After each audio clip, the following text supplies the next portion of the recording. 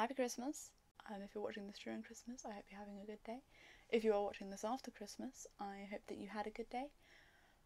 Um, if you do not celebrate Christmas and you celebrate some other um, winter celebration, I hope you had a good one of them. I know that I had a good solstice. Hey guys! Over the holiday season, I have been watching and reviewing horror Christmas films. The past three weeks, I have reviewed Dead of Night, Gremlins, Evil Elves, and this week, as you can tell by the title, I am reviewing the film Krampus. This video does contain spoilers, so I will put somewhere on the screen a timestamp of when you're able to skip the spoilers and go to just my review of the film. Um, if there isn't one on the screen, there will definitely be one in the description. Krampus starts out with a family, and I believe they are getting ready for Christmas because their fam um, family is coming round. I think it's the mum's sister and her family is coming round. So, family tree, if I can find all the pictures grandma, dad, mum, aunt, uncle, four children, um, two children, aunt. They all turn up, and the two, the main family doesn't particularly like the aunt's husband, basically. And they're like, they're trying to be good sports and try and get on with like the holiday cheer, but just as like a general thing, they don't like him very much. Yeah, the aunt's two daughters notice that the main kid wrote a letter to Santa, even though a letter to Santa I can speak. That he wrote a letter to Santa, even though he is 13 or something, I think he's meant to be. They start mocking him and they reveal that they took the Santa, uh, the letter from him and they start reading it out loud. And the guy loses spirit basically and he grabs the letter off of them and runs upstairs because he's very sad because they just embarrassed him. He gets obviously upset. He runs upstairs and his dad goes up and sees him and he just says we need to stay positive because we're only here for a few more days. But he gets sad and rips up the paper and it throws out the window, I think, and it floats away into the night sky. An awful storm happens, I think, overnight, which causes them to lose power and everything like that. Now, the girl, as in this girl, gets worried because she hasn't heard from her boyfriend, and she says her boyfriend only lives, I think it's like a street away. So she says, I'll be quick, I'll go out, I'll see him, just make sure he's okay. I'll be an hour, I'll come straight back home. The mum says, Yeah, sure, go go ahead, um, but definitely be only an hour because I'm not able to keep in touch, so please get here as soon as you can. Out, and she sees a weird thing that keeps tormenting her. And there is, she ends up running away from this creature and she hides underneath a car. And then she ends up, you assume, dying from, I think it's a jack in the box. And it then cuts to the rest of the family who are all there and they're all chilling. And the son says, she's been a really long time and a bit worried, and they say, yeah, that makes sense. So the two dads go out together and they try and find her, um, which they don't succeed in, but they do succeed in the uncle getting bitten by something, and he doesn't know what because it's really thick snow. They go back and they say, We need to find our daughter, so they get their hunting gear and all of that. Um, but it's quite late at night at this point, so they say, Look, we're going to sleep, and then tomorrow we will search for the daughter. The grandma had a similar thing happen to her where she lost faith in the Christmas spirit and she acts, um, I think she um, burnt her doll and that then went up. And later that night, she says he found her and took her parents away. He being Krampus. They start setting up watch, and the uncle is left to um, watch, and it then cuts to all of them being asleep, including the uncle, even though he said that he keep watch. And you hear noises coming from the chimney, and you see a hook, and the hook has a gingerbread man attached, and it starts jangling the hook, and the boy from the aunt and uncle's family look over, sees it, and thinks, oh, man, a nice snack. Goes up, bites a chunk out of this gingerbread man's head, to which the ginger man gets a little disgruntled and attacks him, wraps the rope round him, and starts dragging him up the chimney. All of the family wakes up, starts screaming.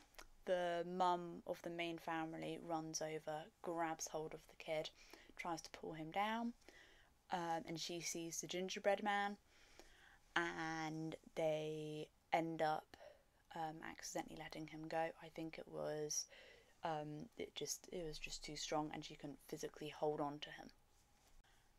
And the film then goes on to um, them going to try and find the daughter, and they slowly getting picked off one by one by Krampus in varying different ways. Um, so I think it's then next one of the girls gets eaten by a giant like snake thing. The grandma and the baby get dragged away by some elves. The the uncle runs after the elves who has his wife and his child. The the four of them, no, the five of them then say, "Let's go," and they start walking. And the grandma says, because they hear the Krampus starting to come down the chimney, and the grandma says, "I want to face him. I'm going to face him. You guys leave and find safety. I'll stay here and distract him." To which he does, and she also, yeah, she gets eaten by a sack, I think. I think um, Krampus opens up a toy, um, a toy bag, and all the toys attack her. The dad notices that they're going to get chased, so he says, "You guys all go, find safety, keep running. I will try and destroy this thing." He doesn't work. He gets dragged. Then the aunt gets dragged, and then the two kids manage to get into the car, and the mum says, like, typical, I love you guys, you will be fine. And she also then gets dragged. Then some of the elves go up and drag the last daughter out of the car, and the main boy gets out and he tries to help. And he goes up, he finds Krampus because it's this big like pit. And he goes up and he finds Krampus, and Krampus is waiting to throw the last girl into this pit. And he starts begging Krampus to not do this, and Krampus just laughs and pushes her in anyway. Basically, starts, I think, trying to fight Krampus, and he throws like the bell that was found to him because it turns out the reason that he's the only one left behind is so that he remembers what it's like to forget the love of Christmas, basically. And he ends up getting thrown into the pit because he says that he just wishes to have Christmas like it always is.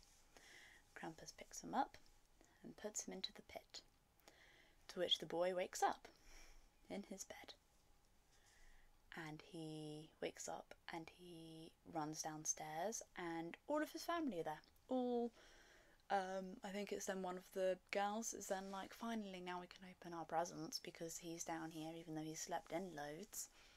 So they all start opening their presents. They all have various different things, like the um, mum opened taxidermied animal and things like that. And the boy gets given a present and he opens it, and it is the bell that the Krampus gave him. And all of the family just kind of look at him like, what? What? And it all goes very silent as it slowly pans out to his house and then a snow globe and then lots of snow globes in this warehousey place. And then the film ends. Krampus is a 2015 film that has a runtime of an hour and 38 minutes and it is a 15. It is, as it is describes itself, it is described as a horror comedy, but it is also a Christmas film, hence the reason it's on this list. I love this film a lot. I really enjoy this film. I think it's a very, very good film. It has a very creepy atmosphere to it, and it's also a very funny film. Because you watch it and you're like, I'm the whole, pretty much all of the intense scenes. It's almost like I don't know whether or not to laugh or be disturbed. Which is what the the aim is, which is quite good. I think they managed to do that very well. I think they nailed it basically. The acting in it is brilliant. All, all of the actors are really really good. It has um, this guy from I think it's Final Destination Five. It has this girl from Hereditary and a couple of other things. I have a feeling all of the other actors are in other things as well, but I can't think about what they're in they are all very good actors and actresses, and I wouldn't fault any of them on that. The makeup is very good, there doesn't tend to be much makeup happening, like they don't tend to have wounds or anything like that, but the makeup that you do see is very good. Um, the CGI again is very, very good as well, I'd say. Overall, film is just great, the storyline is good, everything like that. I'd highly recommend watching it. Very, very good. The only downside with it is, is I personally didn't really like the ending. I don't know if that's controversial controversial thought. I don't know whether or not that is a very um, I don't know if that is a thought that a lot of other people have, but I personally just didn't. It didn't it wasn't very satisfactory. But I also don't know how they would have been able to do the ending in any other way, really. So, although it wasn't what I wanted, I think it was the most logical thing they could do. Does that make that make sense? I think. On my Christmas horror list, I would put this probably in in the second space meaning that it beats both Dead of Night and Evil Elves, but it doesn't quite match Gremlins. Go check out my other reviews if you haven't already. They're very similar to this one, but about other films. So if you like the way that I talk about films, then go watch it. Um, like, subscribe, and I'll see you next week, I'm hoping on New Year's Eve, but possibly New Year's Day, depending on how well editing goes. Bye! Um, what is it called when you stuff animals? I can't remember what it's called when you stuff animals. Oh well. Taxidermy.